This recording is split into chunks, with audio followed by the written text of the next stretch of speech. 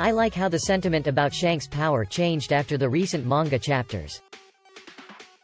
However, I saw some saying that Shanks might just pursue himself out of confronting Kaido by offering him something because there's no way Shanks, his crews, or his ship survived without damages when they show up later at the Marineford.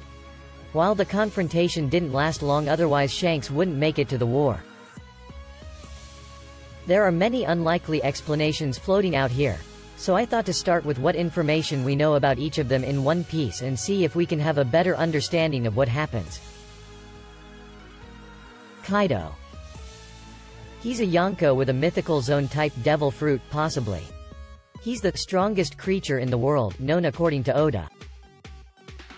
His hobby is suicide. He jumped up 10,000 meters from the sky and only suffered a headache. He has been caught and tortured 18 times, and people as powerful as the Marines and other Yonko have attempted to execute him 40 times only to fail as Kaido survived every single attempt because every single execution weapon broke when being used on him.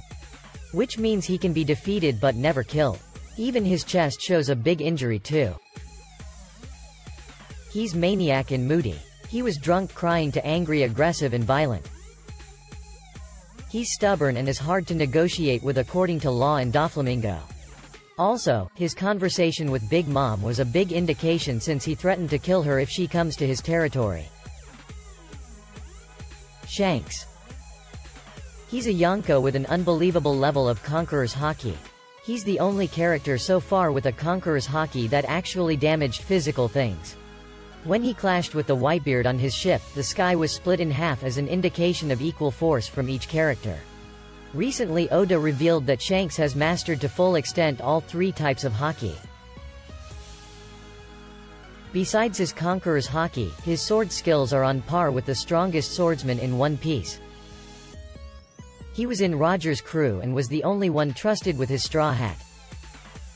He's wise and is respected by many especially the world government.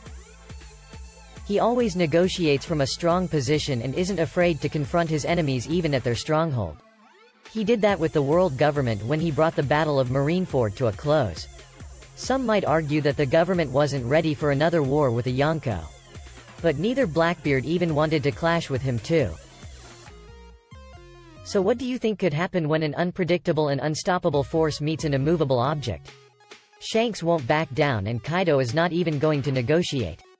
I think what happened is that they clashed for a while. Then, Kaido realized that there's no point fighting Shanks since his target is Whitebeard and he's gone. Then, the fight broke. There's no way the fight continued until one was defeated. What do you think? Asterisk theory by dare underscore dick.